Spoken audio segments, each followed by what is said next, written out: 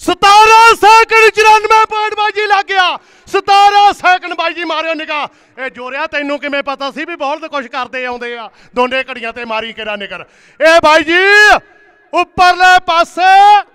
ਇਹ ਭੱਜ ਗਿਆ ਦਲਜੀਤ ਸਿੰਘ ਜੀ, ਪਿੰਡਾ ਪਸੌੜ। ਜੱਗਾ ਸਰਪੰਚ ਬੜੂੰਦੀ। ਇਹ ਬੜੂੰਦੀ ਵਾਲਾ ਸੋਨੀ ਮਾਨਕਮਾਜ ਦਾ ਤੇ ਅੰਦਰਲੇ ਪਾਸੇ ਇਹ ਸਤਵਿੰਦਰ ਜੈਨਪੁਰੀਆ ਭੱਜ ਗਿਆ।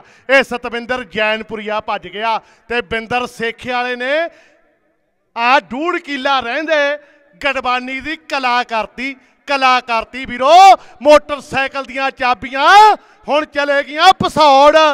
ਸੰਗਰੂਰ ਦੇ ਇਲਾਕੇ 'ਚ ਖਾਲਸਾ ਜੀ ਚਲੇ ਗਈਆਂ। ਆਂਢੀ ਗਵਾਂਢੀ ਪਿੰਡ ਆ।